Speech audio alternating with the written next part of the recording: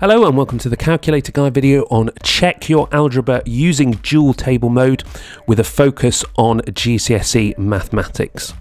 We're going to use the dual table function, that's the table mode that has an fx and a gx on a Casio ClassWiz to help us out with this video.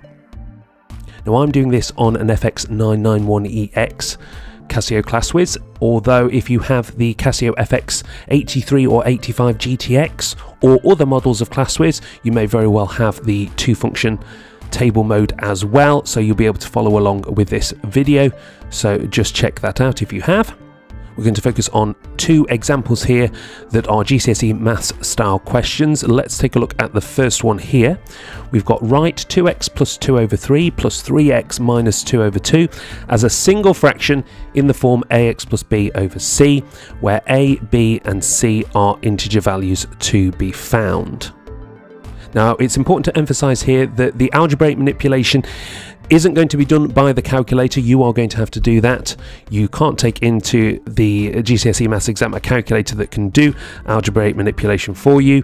You've got to do that but we are going to use the calculator to verify our results and check how certain we can be that we've got the correct answer to this question.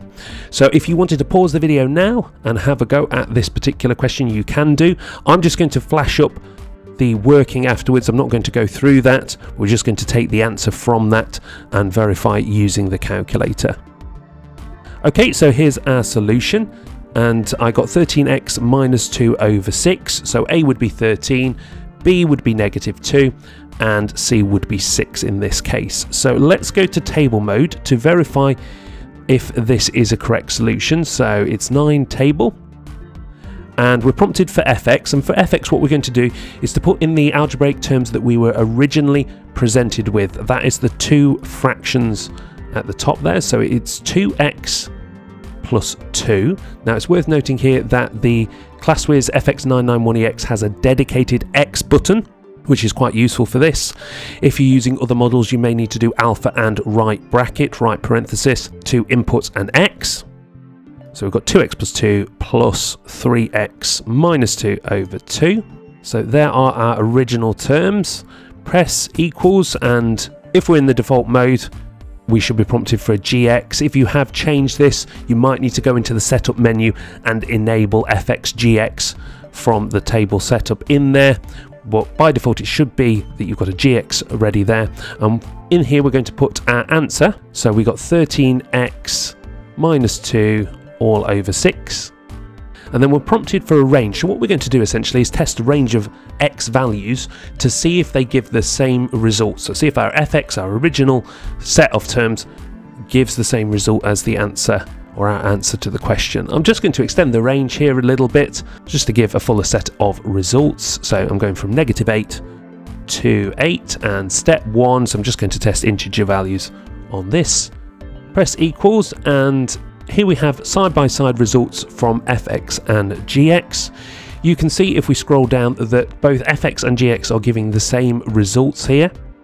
So we can be pretty confident then uh, that we've got the correct answer for this particular question with our 13x minus 2 over 6.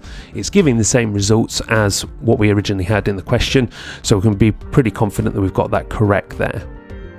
Now, you don't always get 100% the same results with this technique, and we're going to have a look at a second example where not all of the results match on either side. I'm just going to explain why that is and why the, we can still be pretty confident that we've got the right answer. So let's take a look at the second question.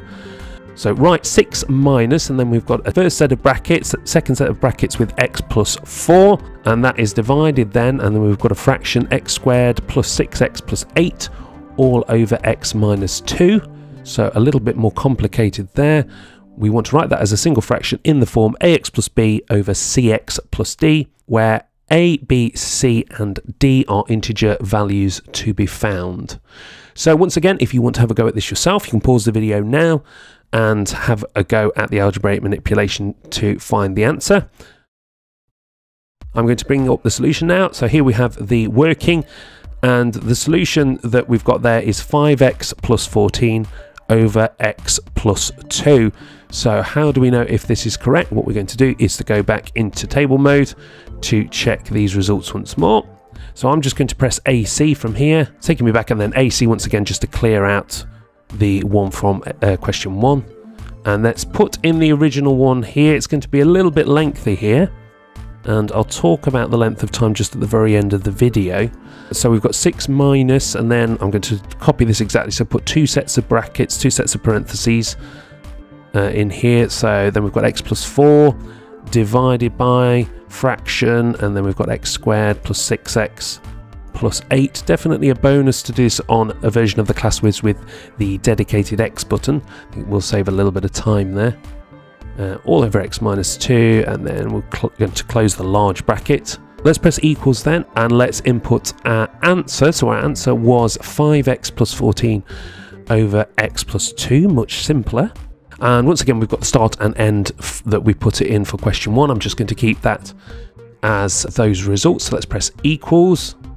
And you can see that the first uh, results that we have here, we've got the same results for both fx and gx. But if we scroll down, we're going to see a slight difference. You can see here when x is negative 4, we get error fx column, but we get a result for gx. Let's just have a look at why that is and why we don't particularly need to worry about that in terms of the verification. Well, if we inputted negative 4 into, well, the top part of the fraction part, x squared plus 6x plus 8, well, x squared would be 16 plus 6x, that would be minus 24, that's negative 8 plus 8 would give us 0 and we'd end up in the situation where we'd be dividing by 0.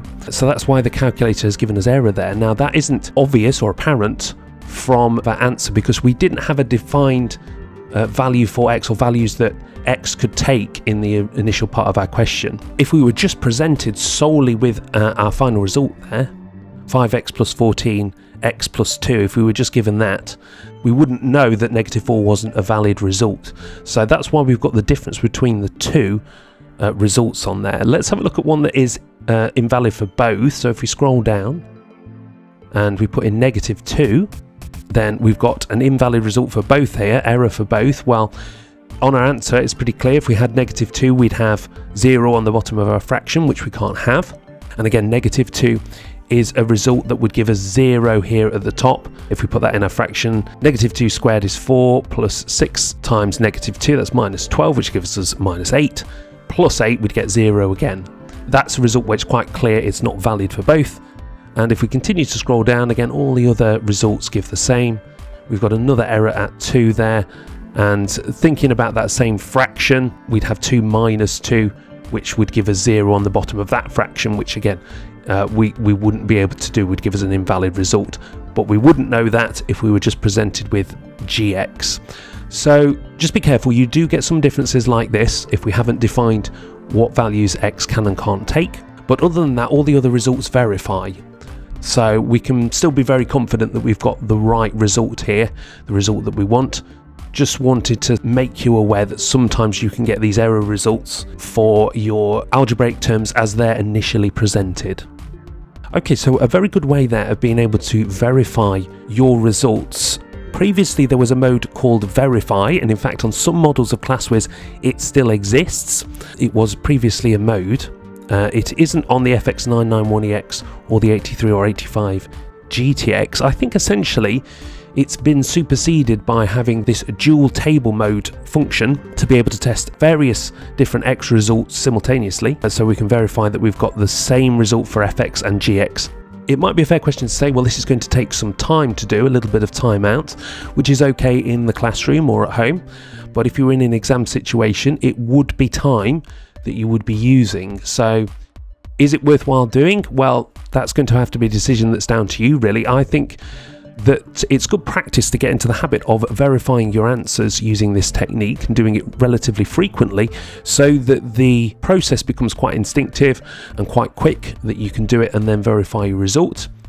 I would argue that certainly with more complex cases, it, it probably is worthwhile spending the time just checking the result there. Maybe if it's a more simple, straightforward example, like perhaps the first question we looked at, maybe you can be pretty confident you've got that right and move on. Others, maybe you're not quite so confident. Maybe you do want to check, especially if there's a part B that uses the answer from this initial part that you've done. It might be worth checking just in case there is an error there.